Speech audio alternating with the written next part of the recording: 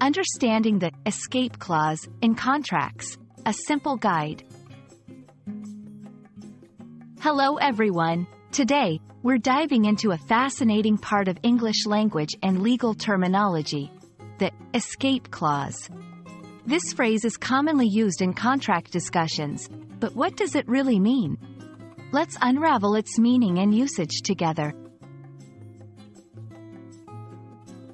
An escape clause is a provision in a contract that allows a party to avoid their obligations under certain circumstances.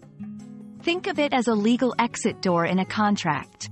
It's designed to protect parties from unforeseen events or conditions that make the fulfillment of the contract unfair or impossible.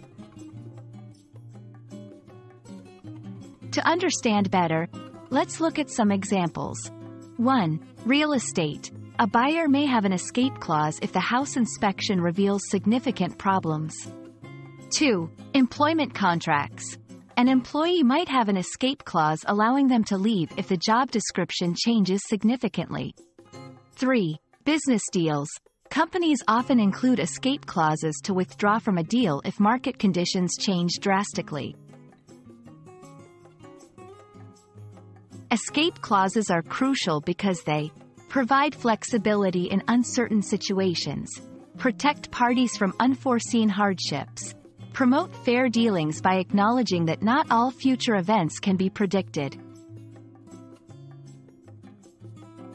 When reading a contract, look for terms like subject to indicating conditions must be met, provided that specifying certain requirements, in the event of pointing to specific scenarios that trigger the clause.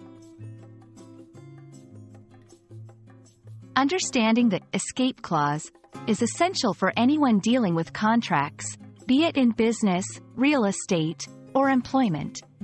We hope this video sheds light on this important concept and helps you navigate your contractual obligations with more confidence. Thank you for watching, and remember, a well-informed decision is always a better decision.